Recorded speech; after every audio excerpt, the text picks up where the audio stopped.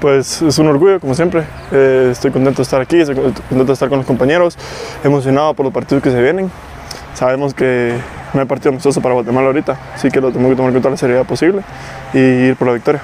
Pues mira, primero creo que Cuba hay que verla de otra manera. Cuba no es lo mismo, no es lo mismo que estábamos viendo. Lo vimos en la convocatoria, es una convocatoria con jugadores que juegan fuera, es una, es una selección que está tratando de mejorar, poco a poco está haciendo su, su camino. Haití también tiene muchos jugadores jugando en el extranjero, así que afrontar cada partido uno a la vez y hacerlo de la mejor manera. A la, a afición, pues darle las gracias por siempre estar atentos, gracias por siempre estar eh, apoyando y aquí está trabajando para poder cumplir los sueños no solo nosotros, sino de todo un país.